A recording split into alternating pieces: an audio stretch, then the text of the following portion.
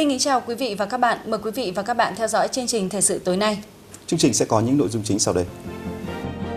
Đồng chí Trần Lưu Quang, Ủy viên Trung ương Đảng, Bí thư Thành ủy tới thăm và làm việc với Ban chấp hành Đảng bộ huyện Thủy Nguyên về kết quả thực hiện nghị quyết Đại hội Đảng bộ huyện nhiệm kỳ 2015-2020, triển khai thực hiện nghị quyết Đại hội Đảng bộ các cấp nhiệm kỳ 2020-2025 và kết quả thực hiện nhiệm vụ kinh tế xã hội 6 tháng đầu năm 2021.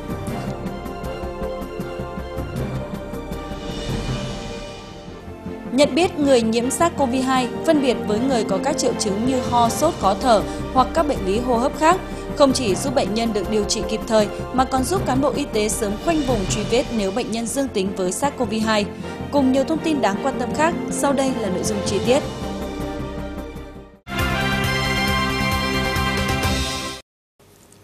Thưa quý vị và các bạn, sáng nay Hội đồng bầu cử quốc gia tổ chức hội nghị trực tuyến toàn quốc tổng kết công tác bầu cử Quốc hội khóa 15 và đại biểu Hội đồng nhân dân các cấp nhiệm kỳ 2021-2026. Dự và chỉ đạo tại điểm cầu Trung ương có đồng chí Vương Đình Huệ, Ủy viên Bộ Chính trị, Chủ tịch Quốc hội, Chủ tịch Hội đồng bầu cử quốc gia. Dự tại điểm cầu thành phố Hải Phòng có đồng chí Nguyễn Văn Tùng, Phó Bí thư Thành ủy, Chủ tịch Ủy ban nhân dân thành phố, Phó trưởng ban chỉ đạo của Thành ủy về công tác bầu cử, Chủ tịch Ủy ban bầu cử thành phố. Cùng dự còn có các đồng chí Ủy viên Ban Thường vụ Thành ủy, lãnh đạo Hội đồng nhân dân, Ủy ban nhân dân, Ủy ban Mặt trận Tổ quốc Việt Nam thành phố và đại diện các ban sở ngành đơn vị. Cuộc bầu cử đại biểu Quốc hội khóa 15 và đại biểu Hội đồng Nhân dân các cấp nhiệm kỳ 2021-2026 là cuộc bầu cử rất đặc biệt, một sự kiện chính trị trọng đại của đất nước, thu hút sự quan tâm của nhân dân cả nước và quốc tế. Diễn ra trong bối cảnh đất nước vừa phải phòng chống đại dịch COVID-19, vừa thực hiện nhiệm vụ phục hồi phát triển kinh tế bảo đảm an sinh xã hội. Cuộc bầu cử đã nhận được sự quan tâm, chỉ đạo thường xuyên của các cấp ngành, sự chung sức, đồng lòng, đoàn kết thống nhất của cả hệ thống chính trị, sự ủng hộ đồng thuận của nhân dân và cử tri cả nước. Phát biểu tham luận tại điểm cầu Hải Phòng, Chủ tịch Ủy ban nhân dân thành phố Nguyễn Văn Tùng chia sẻ những kinh nghiệm trong công tác bầu cử của thành phố. Với những cách làm sáng tạo, hiệu quả, Hải Phòng đạt tỷ lệ 99,78% tổng số cử tri tham gia bỏ phiếu, tỷ lệ phiếu hợp lệ đạt cao ở cả 4 cấp, tỷ lệ phiếu bầu tập trung cán bộ chủ chốt của Trung ương và thành phố trúng cử với tỷ lệ cao, bầu đủ số lượng đại biểu Quốc hội và đại biểu Hội đồng Nhân dân các cấp, không phải bầu lại, bảo đảm cơ cấu chất lượng. Phát biểu chỉ đạo hội nghị, Chủ tịch Quốc hội Vương Đình Huệ khẳng định, cuộc bầu cử lần này có quy mô lớn nhất từ trước đến nay với gần 70 triệu cử tri đi bầu cử, đạt tỷ lệ 99,6% tổng số cử tri cả nước tại 84.767 khu vực bỏ phiếu. Cử tri đã lựa chọn trong số gần 45 vạn người ứng cử đại biểu Quốc hội và đại biểu Hội đồng Nhân dân các cấp để bầu chọn những người thực sự tiêu biểu, xứng đáng cả về phẩm chất đạo đức và năng lực, trí tuệ tham gia vào cơ quan quyền lực nhà nước ở trung ương và địa phương. Chủ tịch Quốc hội đánh giá cao công tác tuyên truyền của các cơ quan báo chí truyền thông góp phần vào thành công chung của cuộc bầu cử. Đặc biệt, ghi nhận Đài Phát thanh Truyền hình Hải Phòng, bên cạnh việc dành nhiều thời lượng phát sóng về công tác bầu cử, còn tổ chức các điểm cầu truyền hình và phát thanh trực tiếp, tạo sự lan tỏa và tạo điều kiện để mọi người dân nắm bắt thông tin đầy đủ, nhanh nhất. Có nhiều kinh nghiệm tốt, bài học hay, không chỉ có giá trị trong điều kiện mà chúng ta vừa bầu cử, trong điều kiện phòng chống dịch, mà còn có thể là áp dụng cho cả những điều kiện bình thường thì trong báo cáo của các cơ quan trung ương cũng như các địa phương đều khẳng định cái chuyện này. Ví dụ như là chúng ta tổ chức ờ, vận động, tiếp xúc ờ, vận động cử tri, vận động bầu cử ấy, là bằng cả hình thức trực tiếp và trực tuyến. Để có thể kết hợp cả trực tiếp lại kết hợp cả trực tuyến. Và như vậy là cái hiệu quả, cái phạm vi thì rất là rộng và rất là hiệu quả. Nhiều nơi là không có chỉ là truyền hình à, trực tiếp hay là kết nối trực tiếp đến các cái điểm cầu, mà còn phát thanh trực tiếp nữa. Báo cáo với chỉ ngân là à, ví dụ như ở Hải Phòng rồi nhiều địa phương là à, tổ chức phát thanh trực tiếp. Cho nên là bà con mình đang đi làm ở ngoài công việc đồng áng thì vẫn cứ nghe được, vẫn cứ theo dõi được bình thường. Ở nhà hay đang đi làm việc hay trong các cái điều kiện khác thì đều có thể nghe được. Cho nên cái phạm vi mà và cái hiệu quả thì rất là tốt. Và cái điều này thì có thể là áp dụng cho cả sau này mà khi đại biểu hội đồng nhân dân rồi đại biểu quốc hội mà tiếp xúc với cử tri trước và sau cái các cái kỳ họp ấy, thì cũng có thể vận dụng cái cái hình thức này. Thế rồi là cái việc à, chúng ta mà tổ chức phân luồng cử tri đi bầu theo cái khung giờ ấy, cũng là một kinh nghiệm rất là tốt. Như vậy không chỉ là đảm bảo cho cái việc nó trật tự mà thực tế ra thì lại tiến độ lại còn nhanh hơn cả trong điều kiện mà chúng ta không có phân luồng. Một mặt là yêu cầu phân luồng để phòng chống dịch, nhưng thực chất thì lại là tiến độ nó lại nhanh hơn. Chủ tịch Quốc hội khẳng định thành công của cuộc bầu cử cho thấy sức mạnh tổng hợp của nhân dân và của cả hệ thống chính trị dưới sự lãnh đạo của Đảng, quản lý của nhà nước, thể hiện sinh động tinh thần yêu nước, đại đoàn kết dân tộc và niềm tin vững chắc của nhân dân đối với chế độ xã hội chủ nghĩa, với Đảng và nhà nước để lại nhiều dấu ấn tốt đẹp được dư luận trong nước, đồng bào ta ở nước ngoài và truyền thông quốc tế ghi nhận đánh giá cao. Cuộc bầu cử cũng đã minh chứng cho tinh thần càng trong khó khăn thử thách, lòng yêu nước, truyền thống đoàn kết, ý chí tự lực, tự cường và khát vọng vươn lên vốn là những giá trị cơ bản làm nên sức mạnh Việt Nam lại càng được phát huy và lan tỏa mạnh mẽ. Thưa quý vị, sáng nay đồng chí Trần Lưu Quang, Ủy viên Trung ương Đảng, Bí thư Thành ủy tới thăm làm việc với Ban chấp hành Đảng bộ huyện Thủy Nguyên về kết quả thực hiện nghị quyết Đại hội Đảng bộ huyện nhiệm kỳ 2015-2020, triển khai thực hiện nghị quyết Đại hội Đảng bộ các cấp nhiệm kỳ 2020-2025 và kết quả thực hiện nhiệm vụ kinh tế xã hội 6 tháng đầu năm 2021. Cùng dự và làm việc có các đồng chí Phạm Văn Lập, Ủy viên Ban Thường vụ Thành ủy, Chủ tịch Hội đồng Nhân dân thành phố, Bí thư huyện ủy Thủy Nguyên, Lê Trung Kiên, Ủy viên Ban Thường vụ Thành ủy, trưởng Ban Ban Quản lý Khu Kinh tế Hải Phòng, Nguyễn Đức Thọ, Phó Chủ tịch Ủy ban Nhân dân thành phố và đại diện các sở ngành thành phố. Nhiệm kỳ qua được sự quan tâm lãnh đạo chỉ đạo của Thành ủy, Hội đồng Nhân dân, Ủy ban Nhân dân thành phố, huyện Thủy Nguyên hoàn thành toàn diện 15 chỉ tiêu, trong đó có 10 chỉ tiêu hoàn thành vượt mức trước thời gian – tốc độ tăng trưởng kinh tế đạt 15,6%, tỷ trọng giá trị sản xuất các ngành chuyển dịch nhanh, đúng hướng. Từ năm 2016 đến năm 2020, tổng mức đầu tư toàn xã hội đạt hơn 63,5 nghìn tỷ đồng. Tổng thu ngân sách 5 năm đạt hơn 14,7 nghìn tỷ đồng. Hệ thống giao thông trên địa bàn và kết nối với các địa phương lân cận được đầu tư đồng bộ. Đến hết năm 2019, tất cả 35 xã hoàn thành xây dựng nông thôn mới. Công tác an sinh xã hội được quan tâm và có kết quả nổi bật đời sống vật chất tinh thần của nhân dân được nâng cao, quốc phòng an ninh được củng cố vững chắc, trật tự an toàn xã hội được bảo đảm. Công tác xây dựng Đảng được chú trọng, năng lực, sức chiến đấu của các tổ chức cơ sở Đảng được nâng cao, công tác cán bộ có nhiều đổi mới. 6 tháng đầu năm nay, kinh tế của huyện tiếp tục giữ đà tăng trưởng cao. Tổng giá trị sản xuất các ngành thực hiện hơn 14.000 tỷ đồng, đạt 42% kế hoạch của huyện, tăng 14% so với cùng kỳ. Huyện quyết liệt thực hiện giải phóng mặt bằng các dự án, hoàn thành và đưa vào sử dụng 24 trong tổng số 27 công trình giao thông, điện chiếu sáng, đang chuẩn bị các bước chuyển đổi huyện Thủy Nguyên thành thành phố trực thuộc thành phố. Cùng với đó, tập trung đầu tư xây dựng hạ tầng nông thôn mới kiểu mẫu tại hai xã Gia Minh và Gia Đức. Thống nhất với những kết quả trong thực hiện nhiệm vụ kinh tế xã hội của huyện thời gian qua, tại buổi làm việc, lãnh đạo thành phố và các sở ngành tham góp ý kiến, gợi mở những giải pháp trong quá trình phát triển, chuyển đổi huyện Thủy Nguyên trở thành thành phố. Theo đó, huyện Thủy Nguyên cần tập trung công tác quy hoạch, tăng cường quản lý đất đai, quản lý trật tự xây dựng, bảo vệ nguồn nước, bảo vệ môi trường sinh thái. Kết luận buổi làm việc, đồng chí Bí thư Thành ủy Trần Lưu Quang ghi nhận và đánh giá cao huyện Thủy Nguyên là địa phương có bề dày truyền thống đáng tự hào với nhiều khu di tích có giá trị lịch sử, văn hóa lâu đời, là động lực lớn cho Đảng bộ, chính quyền, quân và nhân dân huyện Thủy Nguyên trong suốt quá trình phát triển. Với những tiềm năng lợi thế sẵn có, cùng sự quan tâm đặc biệt của thành phố, huyện Thủy Nguyên đang vươn lên mạnh mẽ, khẳng định vị trí quan trọng trong sự phát triển chung của Hải Phòng thời gian qua. Tốc độ phát triển đô thị nhanh, công tác giải phóng mặt bằng đạt nhiều kết quả nổi bật, số thu ngân sách cao, có sự đa dạng phong phú các khu đô thị, khu công nghiệp, có khả năng kết nối với các khu vực lân cận. Tuy nhiên, đồng chí Bí thư Thành ủy cũng cho rằng, bên cạnh sự phát triển, Thủy Nguyên cũng đang gặp không ít thách thức như công tác quy hoạch, quản lý đất đai, công tác đền bù giải phóng mặt bằng trong thực hiện các dự án trọng điểm của thành phố. Do vậy, huyện cần đặc biệt quan tâm đến công tác xây dựng đảng, vận động quần chúng. Gánh vác trên vai trọng trách lớn lao của một đô thị năng động bậc nhất thành phố trong tương lai. Thủy Nguyên cần xác định rõ mục đích, hướng đi cụ thể để chuyển đổi huyện Thủy Nguyên trở thành thành phố. Đồng chí Bí thư Thành ủy nhấn mạnh. Thành phố Hải Phòng đang trông chờ rất nhiều về Thủy Nguyên với một niềm tin lớn lao. Nếu các đồng chí không làm tốt công tác xây dựng đảng thì không có cán bộ. Cái thứ hai là các đồng chí không có được sự ủng hộ của người dân. Chúng ta sẽ lên thành phố Thủy Nguyên, trực thuộc thành phố Hải Phòng. Bởi vì trách nhiệm của đảng bộ thành phố là phải thực hiện nghị quyết cái này nằm trong nghị quyết rồi phải thực hiện nhưng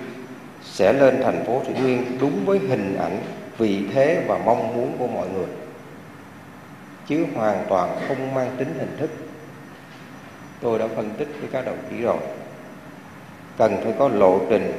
có thời điểm, có phương thức. Phải có cơ chế để đảm bảo sau khi thành lập thành phố Thủy Nguyên nó sẽ phát triển mạnh mẽ, đúng với cái tầm và vị thế của nó.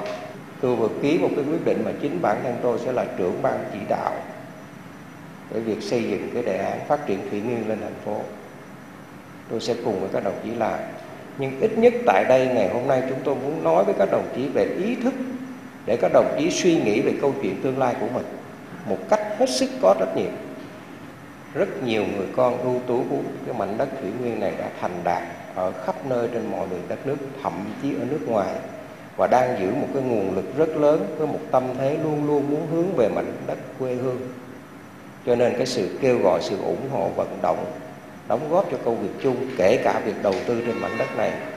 đối với các đồng chí, cơ hội là rất lớn. Câu chuyện tiếp theo là câu chuyện quy hoạch. Nếu không có quy hoạch, chúng ta không thể làm gì được. Bởi lẽ, quy hoạch là công cụ để định hướng cho con đường đi tới của chúng ta. Việc tiếp theo, trước mắt và lâu dài là bằng bất cứ giá nào trong bất kỳ hình thức nào, thủy nguyên phải làm thật tốt, thật nhanh, thật kết quả công tác đền bù giải phóng mặt bằng. Chúng tôi giao cho các đồng chí một việc nữa cực kỳ quan trọng. Đó là phải giữ cho được cái nguồn nước sạch cho thành phố trong tương lai. Sẽ không có phát triển các khu công nghiệp tập trung ở trên đầu hồ hoặc dọc theo cái sông giá. Và cũng phải ngay từ bây giờ tính toán cái việc quản lý nước thải của người dân xã ra con sông này đây là vấn đề an ninh nguồn nước là một vấn đề an ninh phi truyền thống mà nó sẽ ảnh hưởng rất lớn đến cuộc sống bình yên của thành phố Hải Phòng sau này.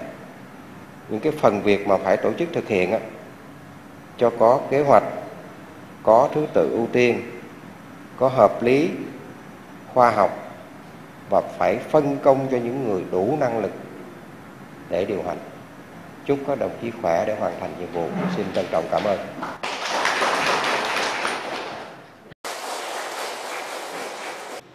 Trước đó, đồng chí Bí thư Thành ủy cùng đoàn công tác kiểm tra thực địa tiến độ thi công tuyến đường tỉnh 359 giai đoạn 2, thăm khu liên hợp xử lý chất thải rắn Sa Minh tại xã Gia Minh thuộc dự án thoát nước mưa, nước thải và quản lý chất thải rắn Hải Phòng giai đoạn 1. Chiều nay, Ban Thường vụ Thành ủy họp nghe báo cáo về các nội dung thành lập Ban chỉ đạo, phân công thành viên Ban chỉ đạo, kế hoạch công tác của Ban chỉ đạo của Thành ủy về xây dựng đề án cơ chế chính sách đặc thù để phát triển thành phố theo nghị quyết số 45 của Bộ Chính trị, thành lập tổ giúp việc và phân công nhiệm vụ thành viên tổ giúp việc của Ban chỉ đạo Thành ủy, định hướng xây dựng đề án cơ chế chính sách đặc thù để phát triển thành phố theo nghị quyết số 45 của Bộ Chính trị. Đồng chí Trần Lưu Quang, Ủy viên Trung ương Đảng, Bí thư Thành ủy, chủ trì cuộc họp. Cùng dự có các đồng chí Nguyễn Văn Tùng, Phó Bí thư Thành ủy, Chủ tịch Ủy ban nhân dân thành phố, Đỗ Mạnh Hiến, Phó Bí thư Thường trực Thành ủy, Phạm Văn Lập, Ủy viên Ban Thường vụ Thành ủy, Chủ tịch Hội đồng nhân dân thành phố, các đồng chí Ủy viên Ban Thường vụ Thành ủy, Phó Chủ tịch Hội đồng nhân dân, Ủy ban nhân dân thành phố, lãnh đạo sở ngành địa phương và các chuyên gia, nhà khoa học, đại diện đơn vị tư vấn xây dựng đề án cơ chế chính sách đặc thù. Tại cuộc họp, các chuyên gia nhà khoa học đại diện đơn vị tư vấn xây dựng đề án cơ chế chính sách phát biểu ý kiến, khẳng định vị thế địa kinh tế, địa chiến lược, tiềm năng to lớn và lợi thế phát triển đặc biệt của Hải Phòng trong chiến lược phát triển quốc gia và vùng, nhất là thời kỳ hội nhập toàn cầu. Đó cũng là lý do mà Bộ Chính trị ban hành hai nghị quyết chuyên đề cho Hải Phòng, gồm nghị quyết 32 năm 2003 và nghị quyết 45 năm 2019. Các chuyên gia cũng chỉ rõ những điểm yếu, những nút thắt trong phát triển của thành phố, từ đó nhấn mạnh về định hướng các tuyến giải pháp đột phá về dân cư, quy hoạch đô thị, kinh tế, bộ máy chính quyền quản trị, ngân sách tài chính đô thị. Cụ thể là cần đi đầu về cơ cấu ngành, đẳng cấp và cơ chế vượt trước tiên phong hội nhập, tạo điều kiện để thành phố hội tụ sức mạnh thế giới và cạnh tranh quốc tế thành công. Cần liên kết vùng Hà Nội, vùng duyên hải Đông Bắc, vùng kinh tế trọng điểm Bắc Bộ và phía Tây Nam Trung Quốc. Các chuyên gia cũng nhận định về mục tiêu kinh tế, Hải Phòng sẽ trở thành trung tâm công nghiệp công nghệ cao, trung tâm logistics quốc tế, có những doanh nghiệp chủ lực dẫn dắt là các tập đoàn mạnh, doanh nghiệp hiện đại, xây dựng trung tâm đổi mới sáng tạo khởi nghiệp. Đô thị Hải Phòng sẽ có quy hoạch kiến trúc hiện đại, dân cư chất lượng cao, đô thị có bản sắc văn hóa, hòa hợp với thiên nhiên. Về thể chế xây dựng chính quyền đô thị, thể chế vượt trội đô thị thông minh, các chuyên gia cũng chỉ ra những kinh nghiệm quốc tế về áp dụng chính sách vượt trội và bài học đối với Hải Phòng. Tại hội nghị, các ý kiến xoay quanh vấn đề là chọn phương án xây mới hay cơi nới khi đề xuất những cơ chế chính sách đặc thù riêng cho Hải Phòng. Một số ý kiến cho rằng để Hải Phòng phát triển bứt phá thì rất cần cơ chế thí điểm, theo sự phân cấp phân quyền với những chính sách thể chế mới, từ đó tạo nguồn lực lớn để phát triển. Nhưng để phát huy lợi thế của thành phố, cần có những thí điểm cơ chế về cảng biển, thương mại tự do, trung tâm logistics, du lịch đầu tư. Cũng có đại biểu cho rằng từ những phân tích của các chuyên gia nhà khoa học về những bài học kinh nghiệm của nhiều thành phố trên thế giới đã tạo ra hướng gợi mở để thành phố tập trung nghiên cứu, đề xuất cơ chế về xây dựng khu thương mại tự do. Kết luận hội nghị, đồng chí Trần Lưu Quang, Ủy viên Trung ương Đảng, Bí thư Thành ủy nhấn mạnh, trong những năm gần đây, thành phố đạt nhiều thành tựu, giữ vững tốc độ tăng trưởng cao trên hai con số, có những thực tiễn phù hợp với việc xây dựng cơ chế đặc thù. Về tổng thể, các sở ngành địa phương cần nghiên cứu, tham mưu xây dựng đề án cơ chế chính sách đặc thù cho Hải Phòng với những giải pháp mang tính đột phá để thể hiện khát vọng của Hải Phòng, bám sát định hướng chỉ đạo theo nghị quyết 45 của Bộ Chính trị. Sáng nay, đồng chí Đỗ Mạnh Hiến, Phó Bí thư Thường trực Thành ủy, làm việc với Ban Thường vụ Đảng ủy phường Đông Hải 2, quận Hải An về công tác phát triển tổ chức đảng, đảng viên năm 2021 theo nghị quyết Đại hội 16 Đảng bộ thành phố và kết quả thực hiện nghị quyết số 28 của Ban Thường vụ Thành ủy. Đảng ủy phường Đông Hải 2, quận Hải An luôn xác định phát triển tổ chức đảng và đảng viên, nhất là phát triển tổ chức đảng, đoàn thể trong các doanh nghiệp ngoài nhà nước, hợp tác xã, đơn vị sự nghiệp ngoài công lập là những nhiệm vụ trọng tâm trong công tác xây dựng Đảng. Nhiệm kỳ 2015-2020, Đảng ủy phường đã hoàn thành vượt 10% chỉ tiêu, đã tổ chức kết nạp được 72 đảng viên mới, trong đó có 22 đảng viên của các chi bộ doanh nghiệp ngoài nhà nước, hợp tác xã, trường học ngoài công lập. Đảng ủy phường đã thành lập được một chi bộ trường mầm non Kim Long với ban đầu chỉ là 3 đảng viên. Đến nay chi bộ đã có 9 đảng viên. Hiện trên địa bàn phường có hơn 300 doanh nghiệp ngoài khu công nghiệp trong đó chỉ có một số doanh nghiệp trực thuộc tổng công ty hay tập đoàn, còn đại đa số là văn phòng giao dịch nên khó khăn trong việc vận động thành lập chi bộ đảng. Kết luận cuộc làm việc, đồng chí Phó Bí thư Thường trực Thành ủy Đỗ Mạnh Hiến đánh giá cao công tác lãnh đạo, chỉ đạo của quận ủy Hải An và Đảng ủy phường Đông Hải 2 trong công tác phát triển tổ chức đảng và đảng viên. Qua nghe ý kiến của các đại biểu, đồng chí đề nghị các cấp ủy đảng ở Hải An cần linh hoạt đổi mới trong công tác tìm nguồn, tổ chức các lớp bồi dưỡng nhận thức về đảng, phát triển tổ chức đảng triển khai nghị quyết 28 phù hợp với điều kiện địa phương. Sáng nay, đoàn kiểm tra của Ban Thường vụ Thành ủy do đồng chí Đào Trọng Đức, Ủy viên Ban Thường vụ, trưởng Ban Tổ chức Thành ủy làm trưởng đoàn đã làm việc với Ban Thường vụ huyện ủy Kiến Thụy về việc xây dựng quy chế làm việc của cấp ủy nhiệm kỳ 2020-2025 và công tác tuyển dụng, tiếp nhận, quy hoạch, đào tạo, bồi dưỡng, đánh giá, luân chuyển, điều động, bổ nhiệm, khen thưởng và kỷ luật cán bộ. Ngay sau Đại hội Đảng bộ huyện lần thứ 25 nhiệm kỳ 2020-2025, huyện ủy và các đảng ủy cơ sở đã chỉ đạo xây dựng, sớm ban hành quy chế làm việc đảm bảo đúng quy trình, nội dung, thời gian. Các cấp ủy cơ sở chủ động triển khai phổ biến quy chế làm việc của huyện ủy và cấp ủy đến toàn thể cán bộ đảng viên, thực hiện tốt việc phân công nhiệm vụ cho các đồng chí cấp ủy viên. Việc bổ nhiệm giới thiệu luân chuyển cán bộ được thực hiện đồng bộ, đúng luật, phát huy dân chủ đi đôi với tăng cường kỷ cương kỷ luật, công tác đánh giá cán bộ ngày càng đi vào thực chất. Việc khen thưởng được thực hiện kịp thời, đi đôi với siết chặt kỷ luật kỷ cương. Công tác tuyển dụng, tiếp nhận cán bộ, công chức viên chức thực hiện đúng trình tự, thẩm quyền theo quy định. Thời gian tới, Ban Thường vụ huyện ủy Kiến Thụy tiếp tục chỉ đạo thực hiện nghiêm quy chế làm việc của cấp ủy, thường xuyên đánh giá kết quả thực hiện nhiệm vụ của các đồng chí huyện ủy viên, chỉ đạo thực hiện đồng bộ, có hiệu quả các khâu của công tác cán bộ, thực hiện nghiêm việc kiểm điểm tự phê bình và phê bình các tập thể cá nhân cán bộ lãnh đạo, quản lý các cấp có huyện và đánh giá chất lượng tổ chức cơ sở đảng và đảng viên, tăng cường kiểm tra, giám sát việc xây dựng và thực hiện quy chế làm việc của các đảng ủy cơ sở để kịp thời phát hiện, khắc phục những điểm yếu trong quá trình thực hiện nhiệm vụ được giao. Sáng nay, quận ủy Hồng Bàng tổ chức hội nghị kiểm điểm tình hình 6 tháng đầu năm, bổ khuyết các nhiệm vụ giải pháp trọng tâm 6 tháng cuối năm. Đồng chí Lê Ngọc Chữ, Ủy viên Ban Thường vụ Thành ủy, Bí thư quận ủy Hồng Bàng chủ trì hội nghị. 6 tháng qua, quán triệt phương châm chủ động, sáng tạo, quyết tâm làm được nhiều việc mới, đi đầu thành phố. Đội ngũ cán bộ đảng viên quận ủy Hồng Bàng đã tập trung lãnh đạo, chỉ đạo, thực hiện đồng bộ các giải pháp, thực hiện tốt các nhiệm vụ kinh tế xã hội, quốc phòng an ninh. Quận tập trung cao cho công tác thu ngân sách, đạt hơn 818 tỷ đồng, bằng 78% kế hoạch năm, kế hoạch Hội đồng Nhân dân quận giao, bằng 135% so với cùng kỳ. Chú trọng công tác quy hoạch giải phóng mặt bằng, quản lý trật tự đường hè, vệ sinh môi trường, nếp sống văn minh đô thị, quan tâm chăm lo đời sống gia đình chính sách, đối tượng có hoàn cảnh khó khăn với tổng giá trị hơn 13 tỷ đồng, tăng hơn 12% so với năm trước. Công tác phòng chống dịch bệnh COVID-19 được triển khai quyết liệt, hiệu quả. Công tác xây dựng đảng, chính quyền, vận động nhân dân tiếp tục có nhiều đổi mới sáng tạo, đạt nhiều kết quả rõ nét. Tổ chức thành công cuộc bầu cử đại biểu Quốc hội khóa 15 và đại biểu Hội đồng Nhân dân các cấp nhiệm kỳ 2021-2026 với tỷ lệ cử tri đi bầu đạt 99,93%. Về nhiệm vụ 6 tháng cuối năm, đồng chí Lê Ngọc Trữ, Ủy viên Ban Thường vụ Thành ủy, Bí thư quận ủy Hồng Bàng yêu cầu các cấp ủy Đảng, chính quyền các cấp của quận tiếp tục tập trung cao cho công tác thu ngân sách, để nhanh tiến độ giải ngân vốn đầu tư công, quyết liệt phòng chống dịch, đẩy mạnh cải cách hành chính, phân đấu hoàn thành tốt nhiệm vụ năm 2021. Thưa quý vị, sáng nay Phó Chủ tịch Ủy ban nhân dân thành phố Lê Khắc Nam đã chủ trì hội nghị công bố các quyết định của Chủ tịch Ủy ban nhân dân thành phố về công tác cán bộ, ban quản lý dự án đầu tư xây dựng các công trình giao thông Hải Phòng. Theo quyết định số 1992 và quyết định số 1995 ngày 13 tháng 7 năm 2021 của Chủ tịch Ủy ban nhân dân thành phố, bổ nhiệm ông Đàm Xuân Bình, phụ trách văn phòng cơ sở 2, Ban quản lý dự án đầu tư xây dựng các công trình giao thông Hải Phòng và ông Đinh Phú Hiếu, trưởng phòng kỹ thuật, Ban quản lý dự án đầu tư xây dựng các công trình giao thông Hải Phòng,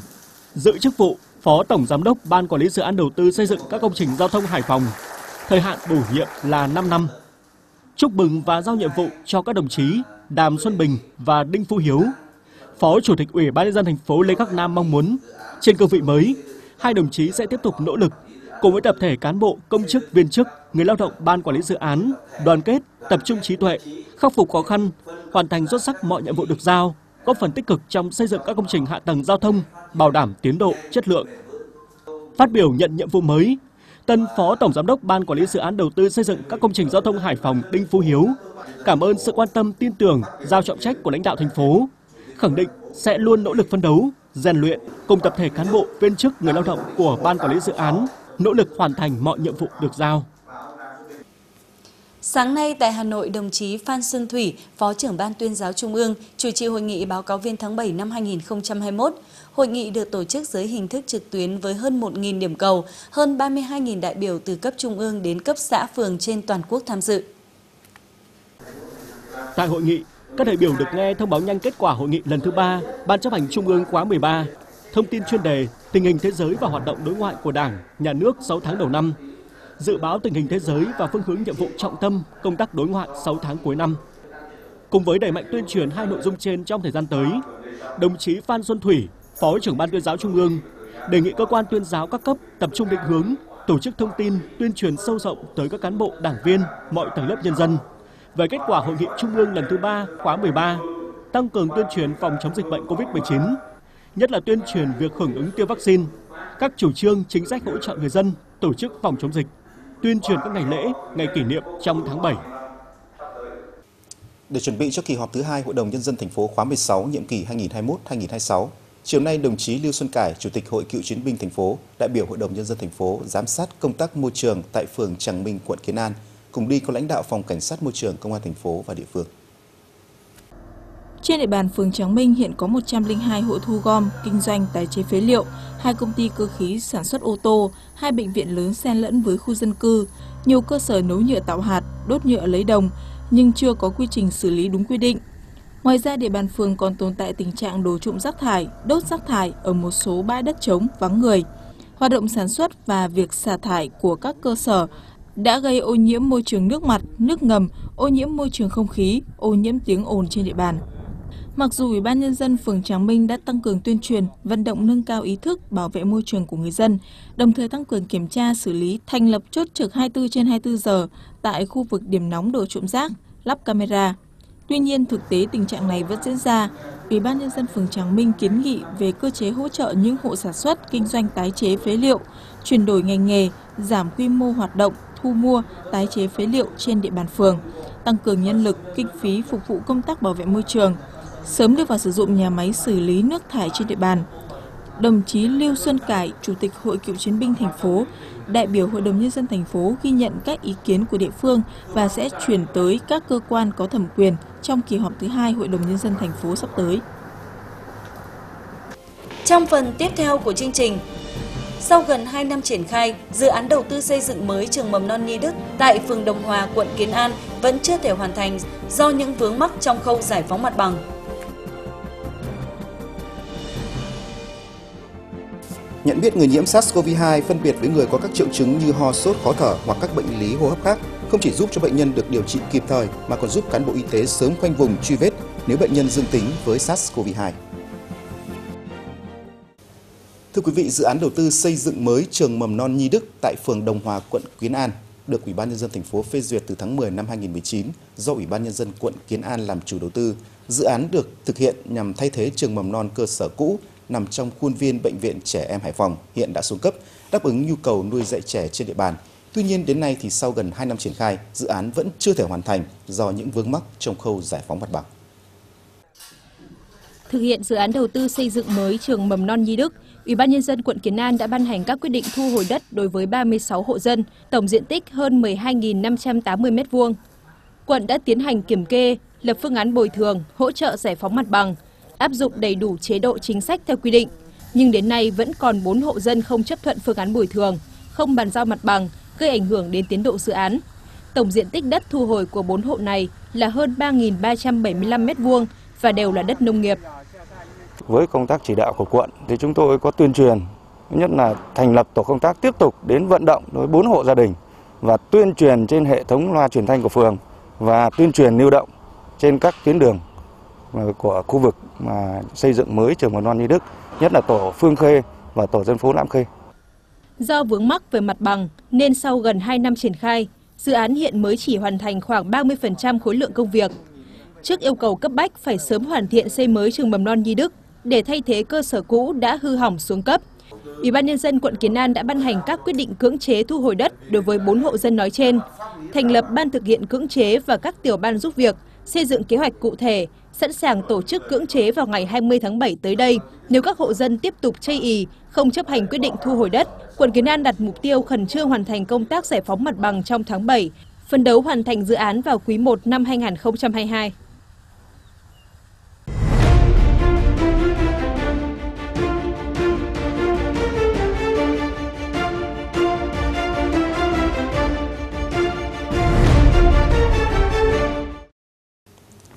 Thưa quý vị, hiện nay có rất nhiều người có các triệu chứng như là ho, sốt, khó thở hoặc các bệnh lý hô hấp khác, biểu hiện lâm sàng khá giống với COVID-19. Điều này gây tâm lý hoang mang và lo sợ.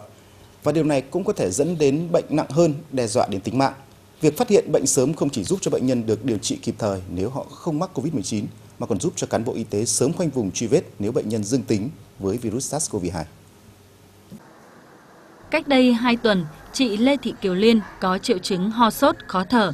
Trước đây, mỗi khi có triệu chứng đó, người nhà thường mua thuốc về cho chị uống. Nhưng trước tình hình dịch bệnh COVID-19 diễn biến phức tạp, gia đình đã chủ động đưa chị Liên đến bệnh viện khám bệnh. Bệnh nhân này ờ, khi vào khoa thì có các cái triệu chứng cũng tương đối giống với các cái bệnh nhân nhiễm SARS-CoV-2. Chúng tôi đã phải làm xét nghiệm 3 lần test nhanh SARS-CoV-2 và một lần xét nghiệm PCR SARS-CoV-2 và bốn lần xét nghiệm của bệnh nhân thì đều âm tính. Vì thế nên là chúng tôi đã khẳng định là bệnh nhân này mặc dù có triệu chứng giống với bệnh SARS-CoV-2 nhưng mà đấy là cùng một cái bệnh lý khác, viêm phổi do vi khuẩn khác chứ không phải à, bệnh SARS-CoV-2 và sau 2 tuần điều trị thì hiện tại bệnh nhân đã rốt ổn định và có thể sớm được ra viện. Dịch bệnh viêm đường hô hấp cấp do chủng coronavirus mới vẫn đang diễn biến rất phức tạp, số ca nhiễm bệnh và tử vong vẫn không ngừng tăng lên hàng ngày và Việt Nam với khoảng trên 2.000 ca nhiễm mỗi ngày đã ảnh hưởng tâm lý tới đại đa số người dân, đặc biệt là những người mắc các bệnh lý về hô hấp. Thưa quý vị và các bạn, để làm rõ sự khác biệt giữa COVID-19 và các bệnh lý về hô hấp khác nói chung, chúng tôi đã có cuộc trao đổi nhanh với tiến sĩ bác sĩ Ngô Anh Thế, trưởng khoa bệnh nhiệt đới Bệnh viện Hữu nghị Việt Tiệp về vấn đề này. Thưa bác sĩ, triệu chứng của COVID-19 có khác với bệnh lý hô hấp khác hay không? Đặc biệt là bệnh viêm đường hô hấp trên ạ? Như chúng ta biết thì ờ, COVID-19 thì có dấu hiệu là có những cái đặc trưng như là ho, sốt, khó thở. đây là những cái ờ, bệnh mà cũng thường gặp ở những ừ, trường hợp mà viêm đường hô hấp khác. À, ví dụ như có thể là cúm, ví dụ viêm amidan, ví dụ như viêm phổi. À, vì vậy thì chúng ta về lâm sàng chúng ta không thể tự khẳng định được rằng là ai là người mắc COVID hay là người mắc các bệnh khác để khẳng định một người bị nhiễm Covid hay không, mắc Covid-19 hay không thì phải dựa thêm nữa à, các cái dữ liệu về dịch tễ và để khẳng định bằng xét nghiệm đó là PCR, real time PCR là và chỉ những cái phòng xét nghiệm được Bộ Y tế cho phép thì mới được phép được khẳng định là người này mắc Covid hay không. Trong bối cảnh dịch bệnh Covid-19 đang bùng phát ở một số địa phương và có diễn biến rất là phức tạp, bác sĩ có lời khuyên gì dành cho người dân, đặc biệt là với những người có biểu hiện về sốt, về hô hấp ạ? Ờ, Covid-19 thì cũng có những dấu hiệu về sốt, ho, khó thở giống như các bệnh khác. Ờ, thì trước hết thì uh, nếu như một ờ, người dân nào đó có những cái dấu hiệu như vậy thì chúng ta cũng không nên hoang mang quá mức là cần phải được thăm khám ở cơ sở y tế có uy tín và chúng ta cũng không tự ý mua thuốc không tự ở nhà quá lo sợ về vấn đề covid mà không đến bệnh viện. Đôi khi chúng ta mắc những cái bệnh lý nghiêm trọng có thể ảnh hưởng đến tính mạng. Xin cảm ơn bác sĩ đã tham gia cuộc trò chuyện. Sau đây là hướng dẫn nhận biết các vùng cách ly y tế cập nhật ngày hôm nay. Lưu ý, áp dụng các biện pháp cách ly y tế đối với những người đến và trở về Hải Phòng từ các vùng có ca bệnh tại cộng đồng theo bảng trên.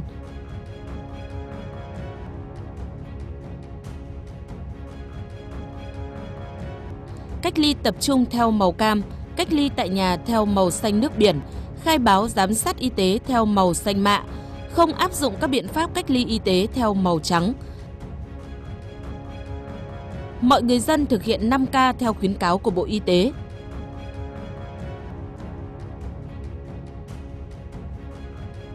Khai báo y tế tại trạm y tế các xã, phường, thị trấn nơi cư trú, lưu trú, địa chỉ, điện thoại truy cập covidmaps.hải phòng.gov.vn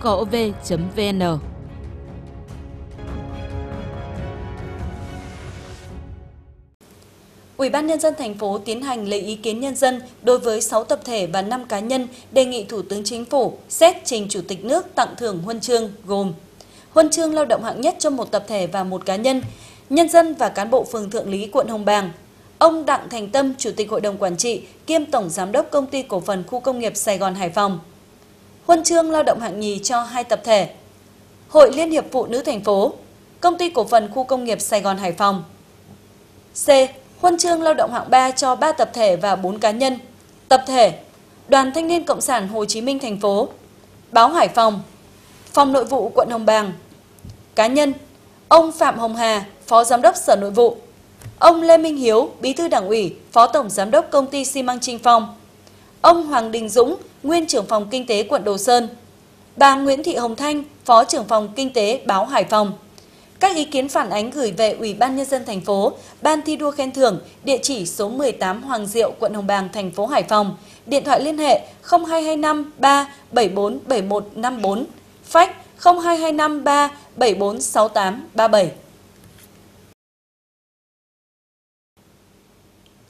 Thông báo nội dung dự kiến kỳ họp thứ hai Hội đồng Nhân dân thành phố khóa 16, nhiệm kỳ 2021-2026 thực hiện kế hoạch số 09 ngày 9 tháng 7 năm 2021 của Thường trực Hội đồng Nhân dân thành phố về việc chuẩn bị kỳ họp thứ hai Hội đồng Nhân dân thành phố khóa 16, nhiệm kỳ 2021-2026. Thường trực Hội đồng Nhân dân thành phố thông báo kỳ họp thứ hai Hội đồng Nhân dân thành phố khóa 16 dự kiến tiến hành trong 3 ngày 11, 12 và 13 tháng 8 năm 2021, khai mạc vào hồi 8 giờ ngày 11 tháng 8 năm 2021 tại Trung tâm Hội nghị thành phố số 18 Hoàng Diệu, Hồng Bàng, Hải Phòng. Nội dung chủ yếu của kỳ họp 1. Quyết định nhiệm vụ giải pháp phát triển kinh tế xã hội quốc phòng an ninh thành phố 6 tháng cuối năm 2021 2. Quyết định chương trình giám sát năm 2022 của Hội đồng Nhân dân thành phố 3. Phê chuẩn điều chỉnh quyết toán thu ngân sách nhà nước trên địa bàn, quyết toán thu chi ngân sách địa phương năm 2019 4. Quyết định mức học phí năm học 2021-2022 đối với các trường đại học, cao đẳng, trung cấp công lập thuộc thành phố quản lý 5 quyết định mức học phí năm học 2021-2022 đối với các trường công lập, giáo dục mầm non, phổ thông và giáo dục thường xuyên trên địa bàn thành phố. 6. Quy định một số mức hỗ trợ thực hiện Nghị định 105 ngày 8 tháng 9 năm 2020 của Chính phủ quy định chính sách phát triển giáo dục mầm non trên địa bàn thành phố. 7. Quyết định cơ chế hỗ trợ thực hiện cắt giảm di chuyển cơ sở nuôi trồng thủy sản trên các vịnh thuộc quần đảo Cát Bà, huyện Cát Hải. 8 bố trí nguồn lực để thực hiện phòng chống dịch bệnh COVID-19. 9. Quyết định sửa đổi bổ sung nghị quyết số 148 ngày 13 tháng 12 năm 2016 của Hội đồng Nhân dân thành phố về việc quy định mức thu, chế độ thu, nộp, quản lý và sử dụng phí sử dụng công trình kết cấu hạ tầng, công trình dịch vụ và tiện ích công cộng trong khu vực cửa khẩu cảng biển Hải Phòng. 10. Quyết định thành lập thôn mới tại xã An Đồng, xã Hồng Thái thuộc huyện An Dương, tổ dân phố mới tại phường Thượng Lý, quận Hồng Bàng và giải thể tổ dân phố tại phường Cát Giải, quận Lê Trân. 11. Quyết định chủ trương đầu tư các dự án, dự án đầu tư xây dựng cầu Lại Xuân và cải tạo mở rộng đường 352, dự án đầu tư xây dựng các công trình kiến trúc khu đô thị mới Bắc Sông Cấm giai đoạn 1, dự án đầu tư xây dựng cầu vượt sông Hóa và đoạn tuyến qua Hải Phòng của tuyến đường bộ từ thành phố Thái Bình đi cầu Nghìn. Dự án đầu tư đường vành đai 2 đoạn tuyến Tân Vũ Hưng Đạo đường Bùi Viện. Dự án đầu tư xây dựng nút giao khắc mức tại ngã tư đường Tôn Đức Thắng, Máng Nước, Quốc lộ 5. Dự án đầu tư xây dựng công viên nút Nam Cầu Bính. Dự án đầu tư xây dựng khu trung cư Vạn Mỹ. Dự án chỉnh trang sông Tam Bạc từ cầu Lạc Long đến cầu Hoàng Văn Thụ dự án đầu tư hạ tầng kỹ thuật khu tái định cư để phục vụ giải phóng mặt bằng sân gôn Hải Phòng Sakura Club tại huyện An Lão. Dự án đầu tư xây dựng mở rộng nghĩa trang Đồng Chợ, xã Trường Thành, huyện An Lão. Dự án đầu tư xây dựng trường cao đẳng nghề kỹ thuật. 12. Quyết định điều chỉnh chủ trương đầu tư các dự án. 1. Dự án đầu tư cải tạo đường 359 đoạn từ Cầu Bính đến xã Trung Hà, huyện Thủy Nguyên. 2. Dự án đầu tư cải tạo đường thị trấn Minh Đức, huyện Thủy Nguyên 3. Dự án đầu tư xây dựng cầu Nguyễn Trãi. 4. Dự án tu bổ đê nâng cấp đê điều sung yếu năm 2021 thành phố Hải Phòng. 5. Dự án đầu tư xây dựng tuyến đường bao phía nam kênh huyện đội, thị trấn Tiên Lãng, đoạn từ đường 354 đến đường 212. 6. Dự án đầu tư nâng cấp cải tạo tuyến đường phòng chống lụt bão và trục liên xã Bắc Hưng, Nam Hưng, Đông Hưng, Tây Hưng, đoạn từ ngã ba quán cháy đi cống C4. 13 quyết định điều chỉnh kế hoạch đầu tư công thành phố năm 2021. 14. Thông qua dự kiến kế hoạch đầu tư công thành phố năm 2022. 15. Cho ý kiến về phương án phân bổ vốn ngân sách trung ương trung hạn giai đoạn 2021-2025. 16. Thông qua bổ sung điều chỉnh danh mục các dự án đầu tư có sử dụng đất lúa, đất rừng phòng hộ, rừng đặc dụng, danh mục các dự án đầu tư phải thu hồi đất, mức vốn ngân sách nhà nước dự kiến cấp cho việc bồi thường giải phóng mặt bằng trên địa bàn thành phố năm 2021, quyết định chủ trương chuyển mục đích sử dụng rừng sang mục đích khác. 17. Xem xét các báo cáo. Báo cáo công tác 6 tháng đầu năm 2021 của Thường trực Hội đồng nhân dân thành phố, các ban của Hội đồng nhân dân thành phố, Ủy ban nhân dân thành phố, Tòa án nhân dân thành phố, Viện kiểm sát nhân dân thành phố, Cục thi hành án dân sự thành phố. Báo cáo 6 tháng đầu năm 2021 của Ủy ban nhân dân thành phố về kinh tế xã hội, thực hiện ngân sách nhà nước, công tác phòng chống tham nhũng, thực hành tiết kiệm, chống lãng phí, phòng chống tội phạm và vi phạm pháp luật, giải quyết khiếu nại tố cáo, giải quyết kiến nghị của cử tri, thực hiện chủ đề năm 2021 về đẩy mạnh chỉnh trang, hiện đại hóa đô thị, xây dựng nông thôn mới kiểu mẫu. Báo cáo của Ủy ban nhân dân thành phố về kết quả thực hiện các nghị quyết của Hội đồng nhân dân thành phố, nghị quyết số 53 ngày 9 tháng 12 năm 2019 về nâng mức chuẩn trợ giúp xã hội và một số chính sách trợ giúp xã hội trên địa bàn thành phố Hải Phòng giai đoạn 2020-2025. Nghị quyết số 54 ngày 9 tháng 12 năm 2019 về chính sách hỗ trợ học phí cho học sinh từ bậc học mầm non đến trung học phổ thông trên địa bàn thành phố Hải Phòng. 18. Nghe báo cáo của đoàn đại biểu Quốc hội Hải Phòng về kết quả kỳ họp thứ nhất Quốc hội khóa 15 và hoạt động của đoàn đại biểu Quốc hội Hải Phòng tại kỳ họp. Thông báo của Ủy ban Mặt trận Tổ quốc Việt Nam thành phố về công tác tham gia xây dựng chính quyền 6 tháng đầu năm, phương hướng nhiệm vụ 6 tháng cuối năm 2021. 19. Chất vấn và xem xét trả lời chất vấn. 20. Xem xét báo cáo tổng hợp ý kiến kiến nghị của cử tri thành phố tham gia vào nội dung kỳ họp. 21. Thực hiện một số nội dung quan trọng khác theo quy định. Thường trực Hội đồng nhân dân thành phố thông báo đến các cơ quan đơn vị, các vị đại biểu Hội đồng nhân dân thành phố, cử tri và nhân dân thành phố biết tham gia vào nội dung kỳ họp. Những thông tin dự báo thời tiết sẽ kết thúc chương trình tối nay. Cảm ơn quý vị đã dành thời gian theo dõi. Kính chào tạm biệt và hẹn gặp lại quý vị trong các chương trình sau.